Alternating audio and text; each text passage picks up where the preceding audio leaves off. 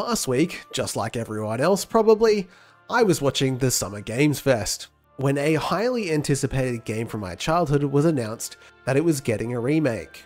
Final Fantasy Tactics is one of those games that a lot of 90s kids have fond or perhaps frustrating memories of, but when I saw the remake, something caught my eye. Something about the way the characters moved and looked made me want to try and see if I could recreate the same style of movement in the Godot game engine, which I initially thought would be easy. Something that I didn't realize though is that while 3D navigation is baked into most engines these days, they are able to produce paths at much higher detail and use Euclidean distance to calculate the path to their destination. In fact, Godot's 3D navigation is so simple that most of the code required fits mostly onto half of this notepad. However, if you want a square grid with 2D style Manhattan pathfinding, you're going to need a whole lot more paper. Let's take a closer look at what we're trying to achieve with this exercise. This is Final Fantasy Tactics War of the Lions on Android. You can see that when we select a player, there is a set of tiles that light up as move options. And when we move a player, they very clearly move to their starting point, to their ending point without making any diagonals. And only once they're aligned with their axis of their destination do they ever turn towards it. This is something called Manhattan distance. The easiest way for me to explain this is that Euclidean distance finds the shortest possible path, and this is what Godot uses for its built-in pathfinding. And if we implemented this on our grid, we would simply send our player directly to the point. Manhattan distance, on the other hand, named after the city Manhattan, measures the distance between two points on a grid like path, which is exactly what we need. Fortunately for us, Godot has a built-in A-star helper class, so we don't need to roll our own, we only need to override the cost functions, and we should be able to recreate the effect. And on top of that, they even have a Manhattan distance snippet that we can use. But much like my mental health, it doesn't work at all. But I'm getting ahead of myself because we don't even have a grid yet. One unique thing that I really like about FFT is that it's 3D. And a lot of these games these days are made in 2D. And there's nothing wrong with that. It's just that there's a charm to being able to rotate the map. I think it's just a really cool feature. I thought I'd show you guys something a little bit different. I've been doing some digging and it turns out there's quite a bit of a modding community around Final Fantasy Tactics. And if you have access to a Final Fantasy CD, you can load it up and extract the maps from the game and view them in this map maker called Ganesha, Ganesha DX. And this is the map from the starting of the game. I thought it'd be a cool one to have a look at and just give an idea about how this game was originally done. And you can see the map it's it's all pretty basic stuff. We've got like normals and whatnot um, sticking out of these. The mesh is cool but the terrain is the thing that i think we should be most interested in because there are two sets of meshes. There's the terrain mesh right? And then there's the polygon mesh. So this is the one you see and this is the one that's interacting with the engine to figure out where to put you and where you're going and all of that stuff. And I find that really interesting.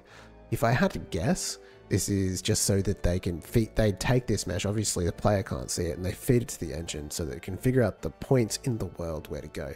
I'm not going to create a separate mesh and feed those points in. I'm actually going to use raycasting because it's faster. I don't, I don't even know if the PlayStation was capable of doing that many raycasts over. A bunch of reasons you would feed in a mesh like this to figure out the world points and like the the slope and all that kind of stuff. You can see here, you can see the height, uh, the slope type, slope surface, natural, all that. You know, there's a bunch of different pieces of information that you can figure out. And I think that's really cool. I originally thought to use a grid map, but let's be honest, it kind of sucks to work with. And on top of that, you have to be incredibly careful about how you build it because the height of the point can only either be at the bottom or the midpoint of the block, which means you cannot have variety in your map, something that I think makes a really big impact on the way that maps look. But if you were going for like an ogre tactics kind of look, then I think this would work really well actually. Either way though, I decided to build a 16 by 16 grid in Blender and add a bit of elevation. I found working in Blender a lot easier to work with than making some boxes and creating a grid map. This map is very basic, but here's one with proper textures that I made for a bit of fun afterwards. I did use a 2D tile set that I got from Itch as a kind of trim sheet, and I think it looks really nice. But anyway, now I have a map, I need to be able to build a grid. So to get a grid, I simply grab the AABB of the demo level. We can use this to set the boundary of our grid. Um, so it could be different sizes. It doesn't have to be 16 by 16. I also defined a grid size of one by one meter. And this could also be any size we wanted it to be, but obviously you want the grid size to be divisible by the map size. So this just makes looping the map really easy as I just need to raycast every one meter determine the height of the grid location. And yeah, I decided to use raycasts to figure out the height of the point. If this was a flat map, this wouldn't really matter, but in Final Fantasy Tactics, verticality is one of the things that make it the most interesting. I also want to point out that if you were going to do this in production, it might make more sense to set this up as a tool, uh, and there might even be better ways to do it. It's just the first thing that popped into my head, sometimes the best option is the one you can make work. I set up a debug texture to spawn so I could confirm the grid matches up with what I'm expecting. I also had to add an offset variable because you want these textures to show up in the center of the point, and I'll actually have a use for them later. While we're looping over this grid, I store both the grid point, which is just a vector 2 representation of the grid, and the world point, which is the location returned by the raycast. I also store here the debug textures and any characters that we find along the way. Okay, so now we have some points that we think should be a part of the A-star algorithm, but so what? How do we get these points into the algorithm and start making paths? Well, you just use the function add point. It's actually really easy at this point. We've done all the heavy lifting. The hardest part of this exercise is knowing what to add.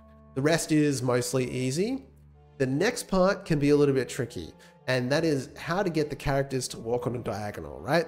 And listen, I know this is an entirely pointless exercise, right? It's a modern engine. You've got yourself a square grid. Just go make a strategy game. You don't need to worry so much about the characters moving. It's so stupid. But if we want to stay true to the inspiration, we've got to get these bean boys walking in right angles. Am I right? Or what? What's the point of this video otherwise? So our focus now switches to the next step of creating an A-star algorithm in Godot, which is connecting the points. You see, when you are using this A-star class in Godot, there are only two things you need to do to get it up and running. You just need the points, which we obviously just got, but you also need to tell Godot which points are connected to each other. So for each point, what are the connected points that can be considered for pathfinding? And like we said, remember, no diagonals. So why even connect diagonal points. You see, at first I was looping over the grid size in the X and the Z and adding every single point, which would include diagonals, uh, which if we don't want to ever walk over, you don't ever need to connect. Seems obvious, but for a while I was relying solely on the compute and estimate cost functions to fix all my problems. And rather than testing each and every single option, it's a way easier just not to have them be considered as an option to calculate the move against. This helps cut down the, on the calculations and helps prevent edge cases that you might not pick up with your compute cost algorithm. And you can see even with my final A star cost function, I still get diagonals even if I include them. Okay, so with all of that out of the way, we can raycast to a point and set the path. And yes, there will be no diagonals, but this is far from perfect because it's jaggy as heck it sways around more than me walking home from a night out with the boys. Like, that's literally me. I'm just waiting for a mate. Is that why your car's all smashed up and you're up on the grass at the moment, or what? Yeah. We're all over the shop. We want clean, straight lines, which brings us all the way back to our compute cost function. You know how I said the function, you know, it doesn't work? Well, I'm not being 100% honest. That's right, I lied. But the truth is, this jagged path is still technically Manhattan pathfinding, but we can make it better. I experimented with a few different things, but I eventually realized that the reason it was jaggy is because we're including all the axes in the cost calculation. And this is not technically wrong. You see, the A-star algorithm works by computing two values. One is the cost of the path from the starting position to whatever point we're testing and the cost of the path from the end position to the point we're testing. These two figures are called compute cost and estimate cost in Godot, and we can override them in our A-star class to create an algorithm that suits our needs.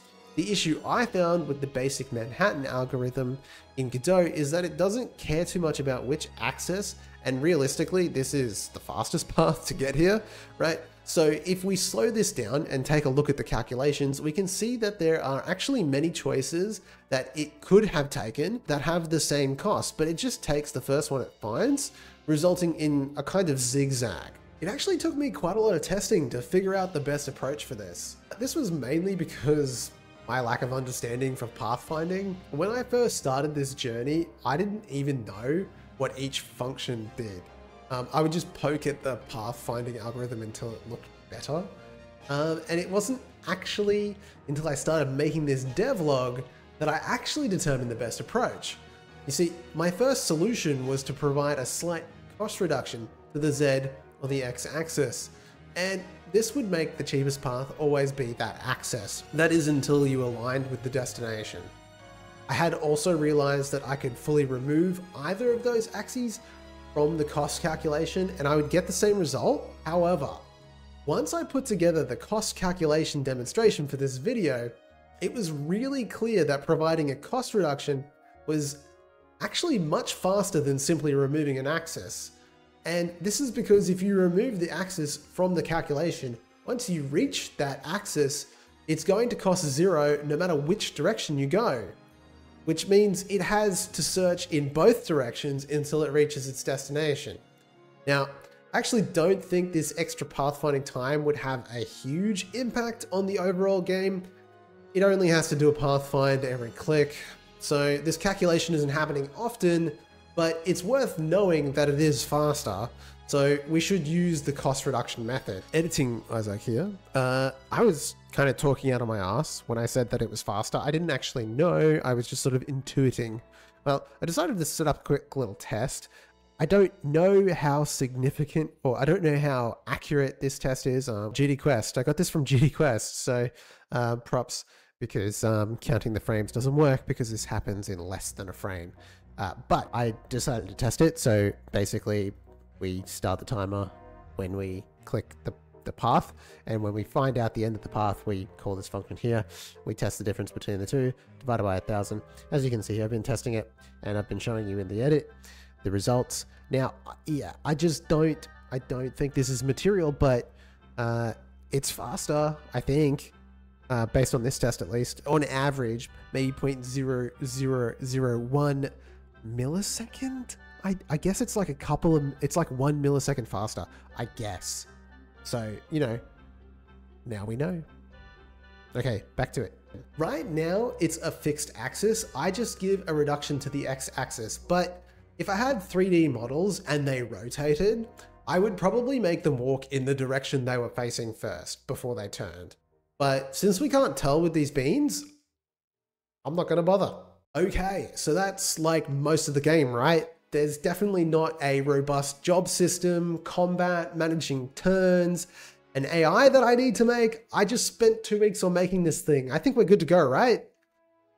Well, actually, since I was able to figure this out, I gave up like three times.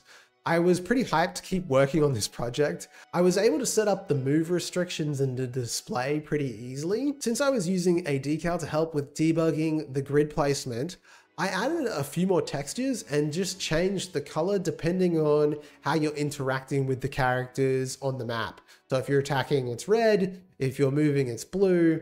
And that's about it. I created some stats, which don't really do much right now, but I gave a speed stat, which just determines how big the circle gets, right? So this is Brink.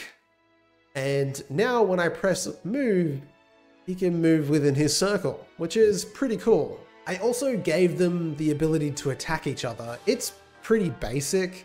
Actually, the code is pretty rushed. I essentially just check if there's a character in the tile selected and apply a damage calculation, which is also not that complicated. I think I stole this from Pokemon. I, I, I don't know, I googled RPG damage calculation formula. This whole turn controller is almost an entire other video in itself. It could also be used for a turn-based RPG, I think. It probably just needs a refactor or two. I have this thing where if I'm prototyping for something for the first time, it's pretty messy. The map controller in itself is like 500 lines. And I was looking through the code before and the attack and move functions are identical except they make the tile a different color. Like they could be the same function and you could just pass a constant depending on the input. I mean, and you can't really blame me, but I wasn't able to do the jumping that's in Final Fantasy Tactics. Uh, in Final Fantasy Tactics, your soldiers could like do these wild jumps and you could also push people off edges and stuff, but coding that is actually pretty tough with at least how I've done it. Um, if you have any ideas, definitely let me know. Um, um, one, the one thought I had is if I did a separate A star for each move, I could calculate their jump and if they could reach that particular tile. Maybe. I, I, I tried it a couple times, it had mixed results, and so I just sort of decided to leave it out. The AI is also incredibly basic. They seek out the closest enemy and whack them. Then once in range, they just hit the person with the lowest health. It's really not that complicated. They also can't do spells because they never went to school. You know, typical stuff. And that is pretty much it. I added like a, a, victory or defeat screen depending on if, you won or they won, but there's no way to repeat the game. There's just two characters and you can cast your spells. Heal, uh, heal is pretty funny. Um, it's just negative damage. That seems to work. I'm I'm happy with that. Um, other than that, yeah, I think it's a pretty fun little prototype. I really enjoyed making it. I learned a ton about pathfinding because you just have to put in so much effort to get these guys moving the way that you want them to. Even if you didn't care about the whole like right angle, uh, non-zigzag or non-diagonal movement, just setting up the grid and getting it to work with the A-star is necessary if you wanted to do a grid-based game. I'm fairly certain you wouldn't be able to do that with the reg regular pathfinding because of the way that it sort of handles edges. But I guess it just depends on how you want to approach that. Because I think you could mix the two. You could have your grid, which is what your mouse interacts with, and your characters are sent to that center point. But like you could still use the regular pathfinding node stuff within Godot. Maybe, like, I don't really know. I think this is probably a better approach, at least for like a turn-based strategy um, game rather than a real-time one. Uh, but yeah, like I think it's probably worthy of a tutorial. I don't think it's going to be. It's pretty hard because it's a very specific kind of setup, like the way that you need to work with the meshes and the the way that you set up the grid. And I think maybe if you would want a general approach, you would take it and you just give it a size like 16 by 16 or whatever, rather than taking that from the mesh, depending on like how you were building your levels. Because like obviously I've done it in a way that is very specific to the mesh. It, the mesh has to be a square. It can't really be anything else. It would have to be a rectangle at least. Um, but yeah, like I said, you make a tool to, to set the points or something like that. I don't I don't know, you know. Um, but otherwise, it was a really fun endeavor. Um, I hope you guys have enjoyed. Definitely hit the like and subscribe if you want to see more. Thank you, all these beautiful people above me that have supported and gotten access to the third person controller, which is still going. So if you want to learn how to make a third person shooter, which is nothing like this, but if you want to learn that, you can join up the Patreon or become a channel member and you get access to that, plus the source code of anything that I've made. Uh, it's not always directly available, just like send me a message and I'll give it to you. Um, but this this will be available. I made a community post, so if you're a member and you want to get access to the source code, um, there's a community post that you can um, you can uh, click to get access to this. But yeah, other than that, guys, uh, that's all for this one. Uh, maybe I'll keep working on this. I don't know. It's pretty fun. I've been enjoying working on it. Um, but other than that, guys, I will see you all next time.